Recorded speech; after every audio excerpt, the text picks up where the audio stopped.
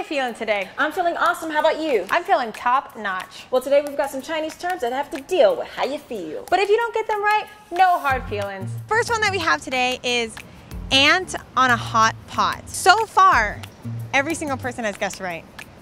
Okay? Oh shoot. So not to put any pressure on you, but you got this. okay. I feel like a ant on a hot pot. if anything was on a hot pot, you would feel anxious, like they're anticipating something. I'm on a place that I don't feel comfortable with. nervous because you don't want to be there because it's hot. I feel like ants are kind of like skittish a little bit, and if they were on a hot surface, they'd probably feel kind of like, oh my god. Congratulations, that was correct. I was, yeah. Everyone has guessed nervous, anxious. Okay. Good job. You're keeping the streak going. All right. So the second one is I feel numbness in my head scalp. No one has gotten this one right. So you could be the first. Okay. Okay, guys, I don't make this up. Numbness in my head scalp. I have a numbness in my head scalp. Yeah, yeah. Um, I feel Your hair is itchy.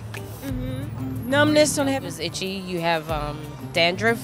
I'm feeling a bit dizzy. Maybe it means like they're having like a brain fart, or like maybe Can you give me like?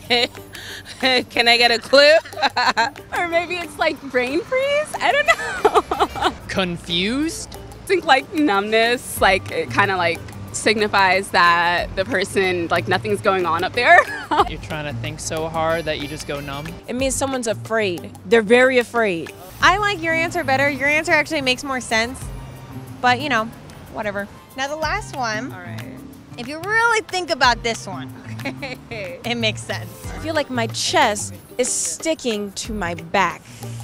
What kind of feeling could that be? when it's hot outside and you're kind of like sweaty and like things kind of stick to you and you're like, ew.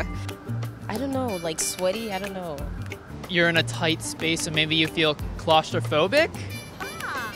Oh, I like that. Yeah, it's like I'm in a tight spot, Yeah. right? So it's wrong. yeah. Am I might have a stomach ache. Maybe it means I'm feeling really hungry. Oh my gosh. You have won the prize of guessing two out of three right. Well, congratulations. It means you're hungry. Really? That's hard. I would have never guessed that.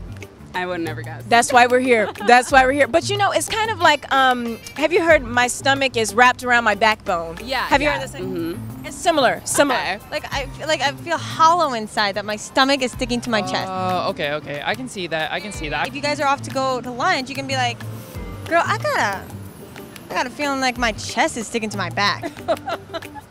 and then now y'all know. Now you guys know. Thank so you. Wow, yeah. That was pretty fun. Yay! I'm glad. The people of New York will stop at nothing. Except to talk to us. I'm Christina. I'm MJ, and thanks for watching Word on the Street. See you next time. Bye. Like it?